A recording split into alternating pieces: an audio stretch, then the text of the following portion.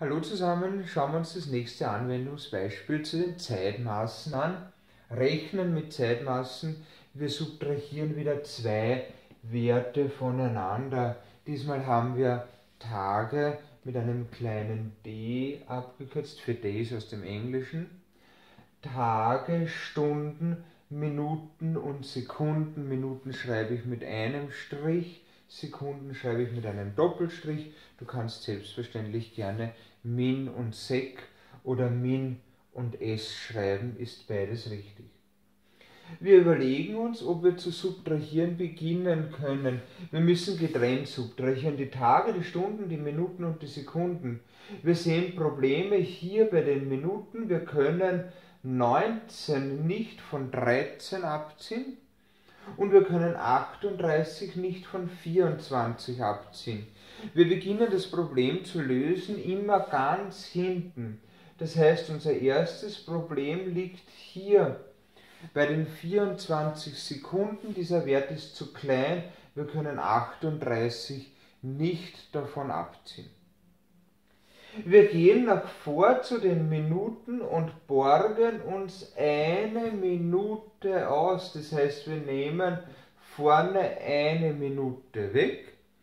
Eine Minute, das sind 60 Sekunden.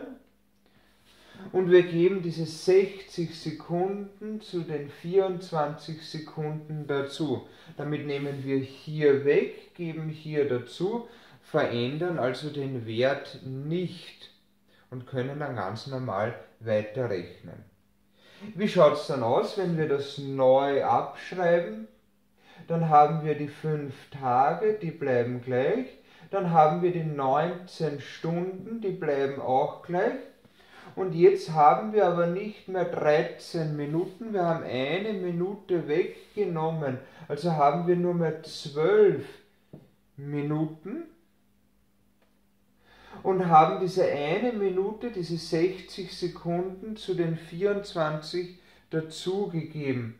Also haben wir jetzt hinten 84 Sekunden. Okay?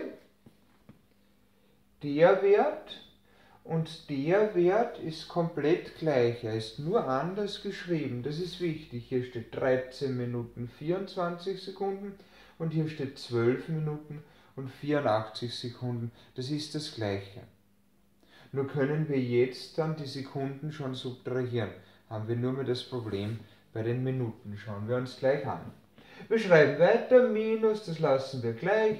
Zwei Tage bleibt, sieben Stunden bleibt, 19 Minuten bleibt und 38 Sekunden bleibt auch. Wir machen wieder einen Strich drunter. Das ist die Subtraktion. Nächstes Problem. Wir können jetzt die Sekunden subtrahieren. 84 minus 38 kann ich rechnen. Ich kann nicht 12 Minuten minus 19 Minuten rechnen. Gleiche Vorgehensweise wie oben, wir gehen wieder eins nach vor. Also wir haben hier das Problem, und so wollte ich es eigentlich schreiben. Wir nehmen wieder von den Stunden eine Stunde weg und geben diese eine Stunde bei den Minuten dazu. Das bedeutet, ich schreibe minus eine Stunde.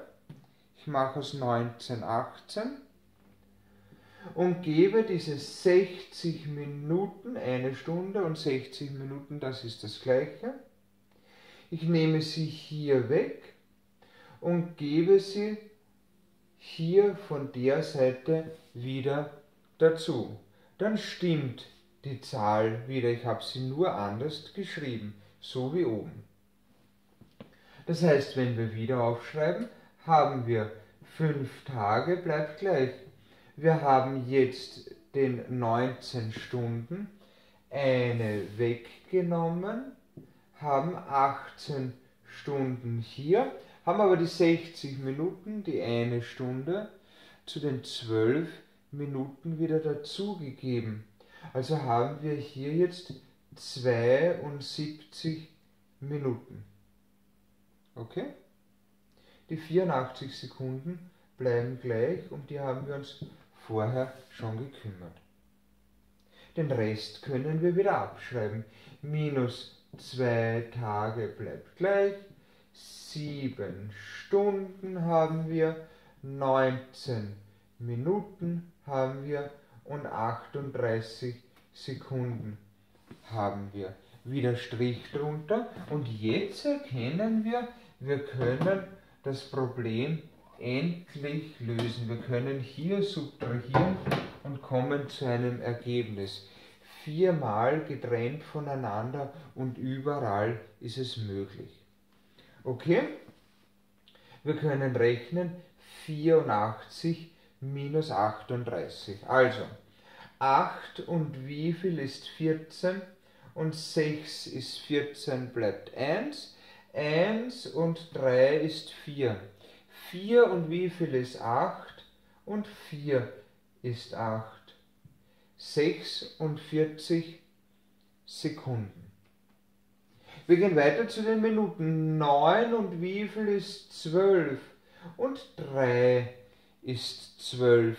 Bleibt 1. 1 und 1 ist 2. 2 und wie viel ist 7? Und 5 ist 7. 53 Minuten. Fertig.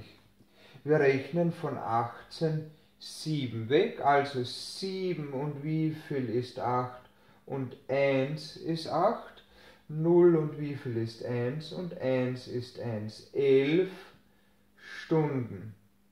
Und 5 Tage minus 2 Tage ergibt 3 Tage insgesamt. Fertig ist unser Ergebnis, 3 Tage, 11 Stunden, 53 Minuten und 46 Sekunden. Geht hier ganz leicht subtrahieren.